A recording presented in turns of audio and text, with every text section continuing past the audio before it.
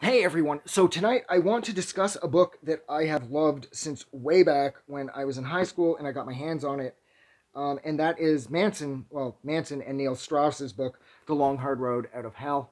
This is easily, I mean, whether it's all actual factual or if it's mostly invented fiction, this is a fucking wild read.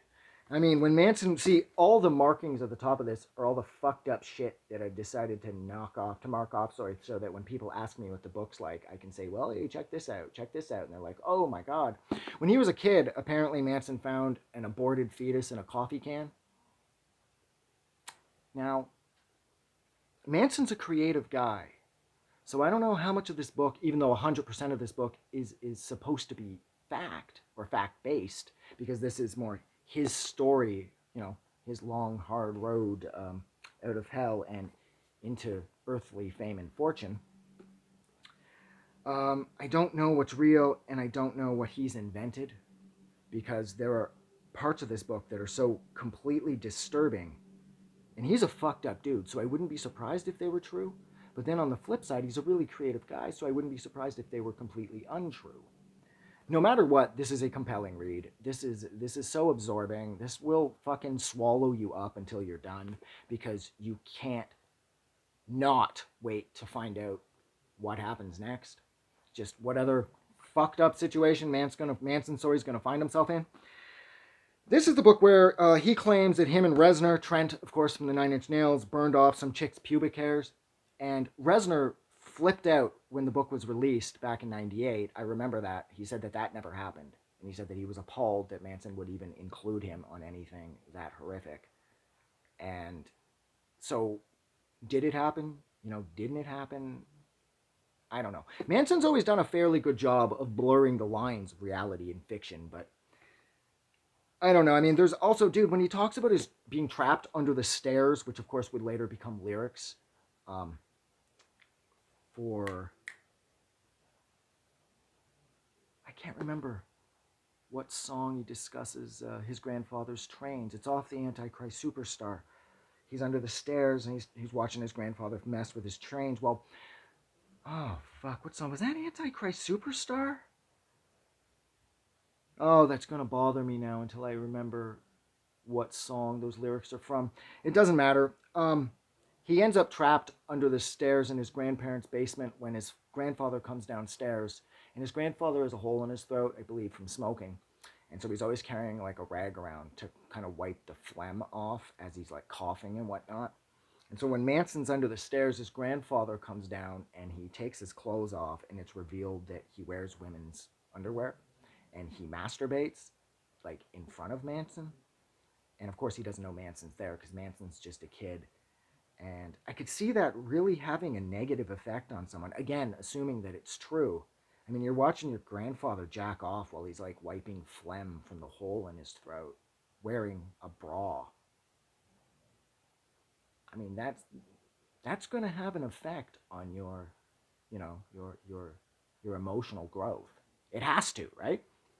And he talks about how backstage for a while there he was tying up fans and torturing them and this one kid tells a story when he's got them all like bondaged up backstage and he's like dangling from whatever. How the kid and his girlfriend, the girlfriend was hooking her way cross country to get money to come to Manson's concert when some trucker just grabs her and drives off into the middle of the night and the boyfriend like breaks down crying while he's tied up backstage at one of Manson's shows telling the story about how some potential serial killer grabbed his girlfriend and just disappeared with her. And again, it's a really disturbing and sort of engaging story that initially if you if you take this book if you let this book exist just on the surface you take it at face value and everything in it is true that's fucked up. Even if it's fictitious that's still fucked up. But if this is at least mostly 100% fact this is the most fucked up book in existence. And there's so many things in here i don't even know like You'd think, like, I mean, it's just so. Everything about this book, I do have to say, I also really like the design work. that was tossed in.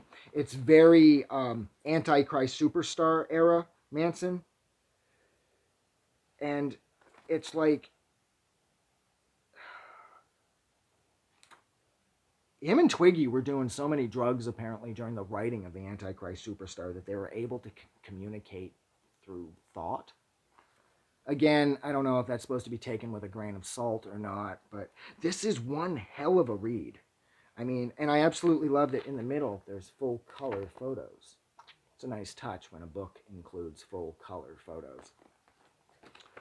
And it's just so it's just so weird. He's got awkward chapters on like this chapter is on homosexuality and the list at the bottom of the page is uh that you're gay. If you meet any of the qualifications below you are gay. If you get someone else's sperm on you if you've ever owned a smiths album um if you get hard while sucking another guy's dick well yeah you know what?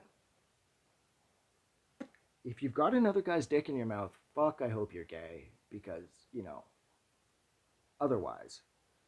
Um, if you've ever worn a beret, Jesus Christ, if you wear a beret, apparently you're gay. Um, if your name is Richard and you go by Dick, then you're gay. If you fuck a girl who likes the Smiths, then you're gay. And this, if you do anything spiritual, um, if you've ever had a haircut like Morrissey. Okay, he's really blasting the Smiths here. And I hate the Smiths, so I couldn't agree more with this. If you've ever had a haircut while a Morrissey or Smiths album was playing in the room. Um, if you've ever put band-aids on your nipples as a fashion statement. Um, if you're not thinking about tits right now. I have to say I don't really think about boobs all that much. So I guess by Manson's standards, or at least 90s Manson standards, I guess I'm kind of gay. Um, and that's pretty much that's pretty much the whole book. It's just it's really well written. That's of course Neil Strauss as well. Manson Manson is a very solid writer, but we never really got to see his literary sense put on full display because his novel Hollywood, at least as of 2022, has never been published. And with all the rape allegations and all the shit, it's probably done. I doubt we'll ever see that book, but it would be nice because I don't know how much of this he wrote or how much he wrote and then Neil Strauss cleaned up because Neil Strauss is sort of like ghostwriting it, so to speak. But nonetheless, this is one disgustingly engrossing read. Definitely check this out. I'm telling you, it is so worthwhile. This thing is so badass. It is so completely fucked up. But yeah, so I am going to go. So thank you so much for hanging out with me for a little over eight minutes while I discussed Marilyn Manson's book, The Long Hard Road Out of Hell. Well, Manson and Neil Strauss. If you liked this review, like always, don't forget to do something nice for somebody. And I just don't think wearing a beret makes you gay. I think it takes a little more than that. You know, seeing as how you're born the way you're born. Yeah. Have a good night. I just wanted to say thank you for making it through the entire video. I really appreciate it. And I'm going to remind everyone one more time, even though I've probably already done this in the video that you just watched, to please click the like button as well as the subscribe button because it helps this channel grow. And thank you for hitting like and subscribe, and we will see you guys really soon.